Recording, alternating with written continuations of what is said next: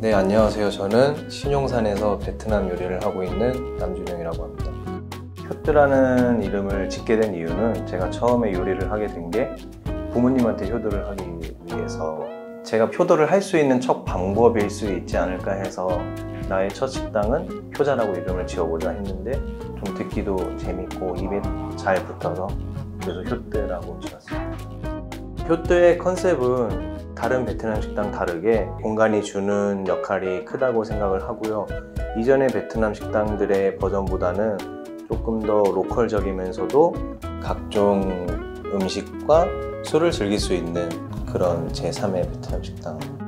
사람들이 효뜨 쌀국수를 먹고 와 정말 local 맛이다, 현지 맛이다고 느끼는 건 저희가 현지에서 사용하는 허브를 많이 사용하기 때문에 그래서 음식을 먹을 때 훨씬 더 매력 있고 맛있게 느끼는 게 아닐까 생각합니다.